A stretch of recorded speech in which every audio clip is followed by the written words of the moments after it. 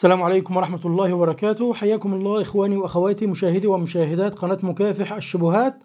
وأهلا وسهلا بكم مع حلقة جديدة عما فعله وزير الثقافة السنغالي السابق وكيف صدم الجميع. وزير الثقافة السنغالي السابق أمادو تيجاني وون تخلى عن عضويته في وسام جوقة الشرف الفرنسية وقال إنه لا يتشرف أن يشترك في نفس الجائزة مع المجرم الهالك صموئيل باتيه الذي عرض الرسوم المسيئة للرسول صلى الله عليه وسلم.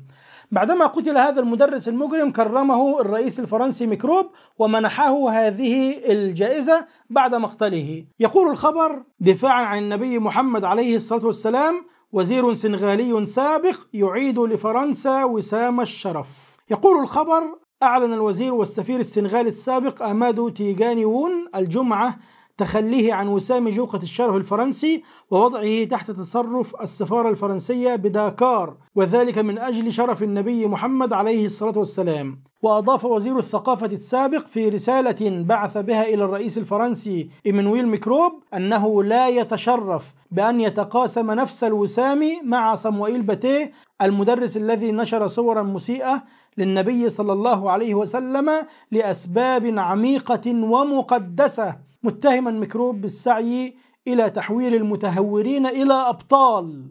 وأهم ما قاله أمادو تيجان هو هذا الكلام وأكد أمادو تيجان أن الدفاع عن الجناب النبوي سابق بالنسبة له على ميزة غرور مؤقتة فأنا مسلم وأردد الشهادة يوميا عدة مرات والتي تؤكد أن لا إله إلا الله وأن محمدا رسول الله. اولا عجبني جدا وصفه للمجرم الهالك صموئيل باتيه بالمتهور مع إن هذا الوصف قليل لما اقترفه هذا الهالك في حق سيد البشر عليه الصلاة والسلام لأن من يسيئون إلى نبينا عليه الصلاة والسلام لا يستحقون كلمة ثناء واحدة مما يردده الإعلام الغربي والعربي. وكذلك أعجبني قول الوزير السابق الدفاع عن الجناب النبوي سابق بالنسبة له على ميزة غرور مؤقتة. هذا الكلام هو ما نريد ممن يصفون أنفسهم بالنخبة أو المثقفين العرب أو حتى حكام العرب أن يفكروا فيه.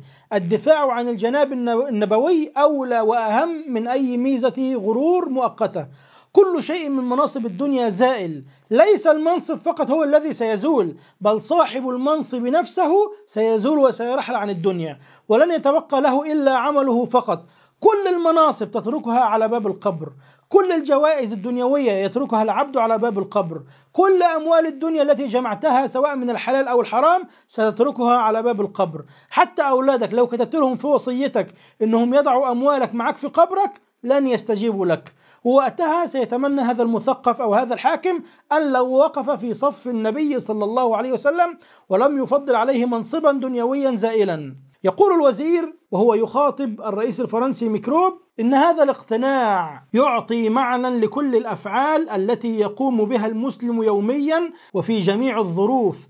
يجب أن أقول إن كل تنفس نقوم به هو تعظيم لله ورسوله صلى الله عليه وسلم لأن نظراتنا الفانية تمسح أفق الحياة الأبدية بالإيمان واليقين والثقة. لذلك نحن لا نعيش في نفس العالم أيها الميكروب قناعتك كمسلم أن الدفاع عن الجناب النبوي الشريف سابق على ميزة غرور مؤقتة يعطي معنى حقيقيا لكل الأفعال التي يقوم بها المسلم. يا أخي هذا الكلام والله ذكرني بكلام الحسن البصري رحمه الله. مسألة تعظيم جناب النبي صلى الله عليه وسلم ليست مسألة محل خلاف بيننا كمسلمين، يجب على جميع المسلمين أن يتخذوا جميع السبل والوسائل المشروعة لصون جنابه عليه الصلاة والسلام عن الغمز أو اللمز، ومن يقصر في هذا الباب فهو محاسب أمام الله عز وجل يوم القيامة. رب العالمين سبحانه وتعالى منع الصحابة من مجرد رفع الصوت عند النبي صلى الله عليه وسلم وجعل رفع الصوت عنده صلى الله عليه وسلم من محبطات الأعمال. كما قال سبحانه وتعالى يا أيها الذين آمنوا لا ترفعوا أصواتكم فوق صوت النبي ولا تجهروا له بالقول كجهر بعضكم لبعض أن تحبط أعمالكم وأنتم لا تشعرون. إن الذين يغضون أصواتهم عند رسول الله أولئك الذين امتحن الله قلوبهم للتقوى لهم مغفرة وأجر عظيم. أنتوا عارفين إيه سبب نزول هذه الآية الكريمة؟ في صحيح البخاري يروي بسنده عن ابن أبي مليكة قال كاد الخيران أن يهلكا مين الخيران؟ أبو بكر وعمر. كاد الخيران أن يهلكا أبو بكر وعمر رضي الله عنهما. رفع أصواتهما عند النبي صلى الله عليه وسلم حين قدم عليه ركب بني تميم. فأشار أحدهما بالأقرع بن حابس أخي بني مجاشع وأشار الآخر برجل آخر. فقال أبو بكر لعمر ما أردت إلا خلافي. يعني أنت كنت عايز تخالفني بس. فقال له عمر ما أردت خلافك. فارتفعت أصواتهما في ذلك فأنزل الله قوله تعالى يا أيها الذين آمنوا لا ترفعوا أصواتكم فوق صوت النبي.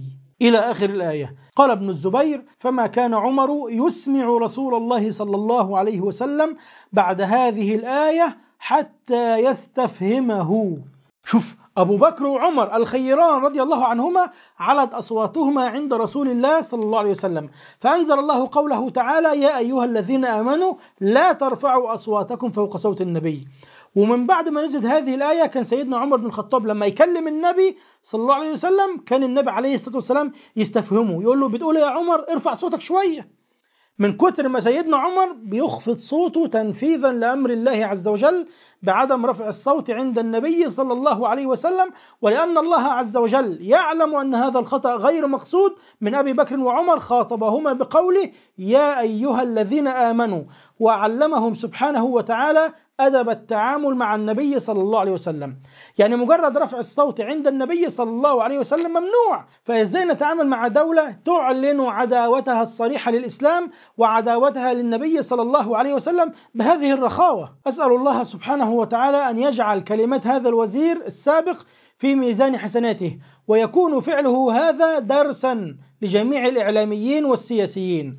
لا تنسوا حملتنا في مقاطعة البضائع الفرنسية مستمرة بإذن الله ولن نتوقف عن هذه المقاطعة أبدا. وسنكبد فرنسا وشركاتها أعظم الخسائر حتى يرجعوا مرة أخرى. هذا وبالله التوفيق والحمد لله الذي بنعمته تتم الصالحات وصل اللهم وسلم وزد وبارك على حبيب قلوبنا محمد وعلى آله وصحبه أجمعين والسلام عليكم ورحمة الله وبركاته.